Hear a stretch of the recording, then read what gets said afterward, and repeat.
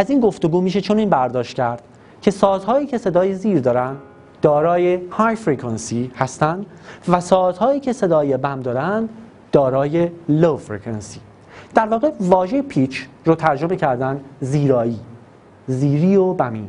و واژه frequency ترجمه شده بسامد. خب به دنباله گفتگو می‌پردازیم درباره تعریف صوت. همونطور که آگاه هستید صدا زمانی تولید میشه که مولکول های هوا به هم فشرده میشن و سپس از هم دور میشن و این موجب یک حرکت موجی شکلی میشه که اونها رو دورتر و دورتر می‌بره. این رو می‌تونیم زمانی که به اون بخش مخروطی شکل استریو اسپیکرمون زمانی که یک موسیقی با ضربهای قوی پخش میشه به صورت ملموس ببینیم. زمانی که اون صدا بیت ها اجرا میشن اون قسمت مخروطی شکل استریو اسپیکر ما به سمت بیرون پرت میشه. در واقع اینو می‌تونیم چنین بازنمود بکنیم که اون هوای جلوی اسپیکر رو سطح آب متصور بشیم و اون در واقع سنگی که در آب میفته رو اون صدا قلمداد بکنیم. اجازه بدید به گفتگوی بیشتر در این باره بپردازیم. زمانی که سنگ ریزی رو در آب میاندازیم فرکانس بالایی از امواج رو به ما ارائه می‌کنه. و زمانی که سنگ درشتی در آب میاندازیم فرکانس پایینی از اصفات رو به ما ارائه می‌کنه.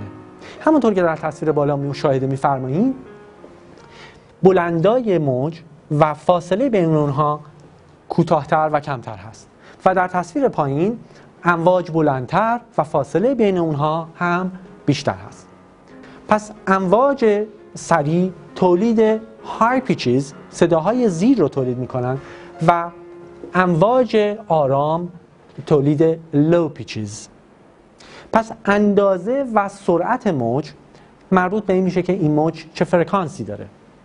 در واقع اگر روی این فرکانس روی این موج ملاحظه بفرمایید در این نقطه مولکول های هوا به همدیگه فشرده میشن. در واقع force together. و در این نقطه در قسمت پایین موج مولکول های هوا پشت پارت یا در واقع گسسته میشن و این موجب اون حرکت موجی شکلی شد که خدمت رو در نخست نشست بیان کردم. این دیاگرام نوت A هست. در واقع نوت A بالای میدل C.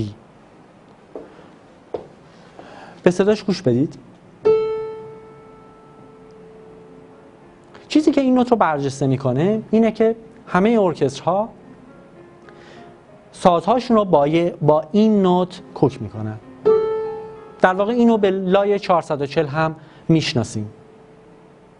زمانی که روی این دیاگرام فوکس می‌کنیم چنین دیاگرامی رو می‌تونیم ببینیم. در واقع این one complete vibration of a wave is a cycle.